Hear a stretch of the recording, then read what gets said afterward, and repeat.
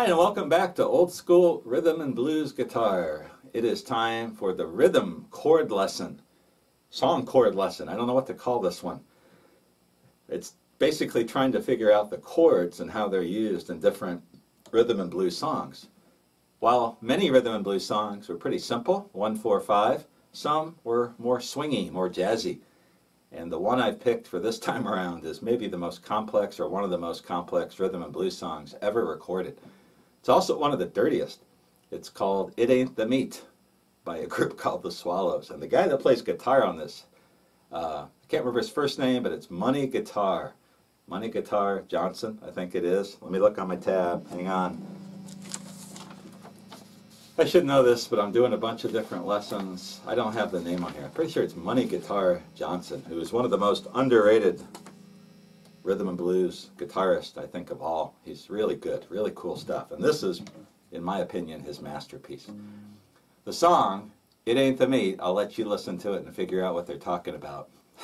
Not a family-friendly song.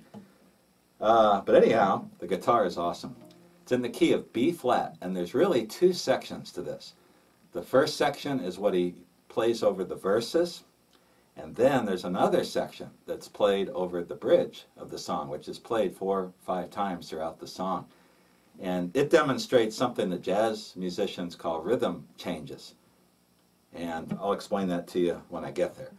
Now, the first part, when there's an introduction, and I don't have that tabbed out for you, I think you can listen to that and figure it out.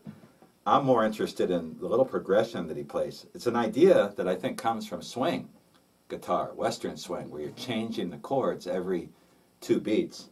And I listened to this over and over and over again over the last couple months, and I'm not 100% sure of what's going on here, but this is my best guess. If you know better, please comment, share with the rest of us. That's part of this channel is to collaborate and figure some of this stuff out that's so cool and that we enjoy so much and that we want to learn how to play.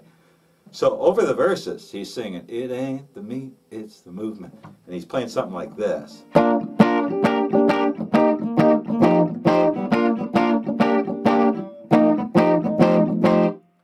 It's this uh, four chord thing. I'm going to try to tune my guitar down a little bit. What I think he's doing is it's B flat. I think he's playing a B flat F shape. And then he's playing a B flat 6 by putting the pinky on the 8th fret of the second string. That's what I think I hear on the recording. And then an E flat, maybe just the, the, the notes on the second, third, and fourth string, not playing a power chord.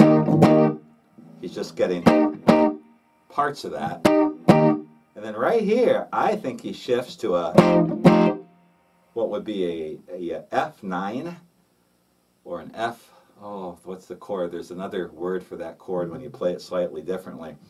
So I think he's playing this.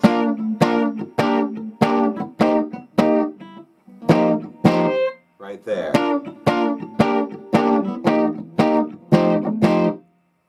Or you could also play that last chord as a seventh. That would be an F7, C shape, take a C7, move it between the 6th and 8th fret.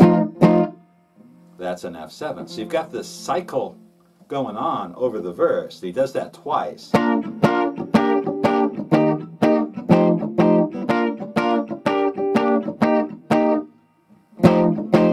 then the next time around, he does this.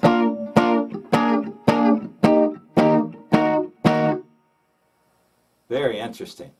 And this is really more of a jazz type chord change. And what I'm doing is playing that same B flat, then I'm going to a B flat seventh by putting my pinky not on the eighth fret, but on the ninth fret of the second string. And then we're going to that E flat again, and then we're going to change that to an E flat minor. Listen to this. If you listen very carefully, as he wraps up the verses the last two times around on the guitar, or the last time around on the guitar, he plays that. So the whole verse goes something like this.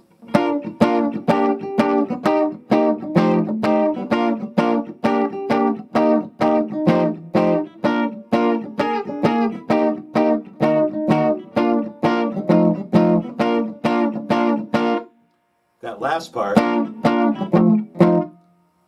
can't tell what chord's being played there, so I'm just using a seventh, an F seventh. And then right there is where it's going to head into the bridge. So I tried all kinds of possibilities for that. I tried these jazz chords. That didn't sound right to me. I tried uh, what's called a sock rhythm. Don't think that's it. I'm going from a sixth, B flat sixth, to a B flat seven, to the E flat. Those are, I tried all those possibilities and I concluded that it's this one. Because I hear those treble strings. That's what I think I hear. That last chord, he may just, he may not be getting the first string as much, something like that. You listen to it, see what you think. And these old R&B songs, some of them were recorded fairly primitively. And sometimes you just can't quite hear everything that's going on. So that is the main verse, the chords. Really interesting, very different.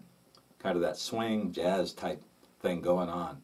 And this is from 1951, 1950 or so, so it's not too far removed from the whole swing guitar thing. And hold me.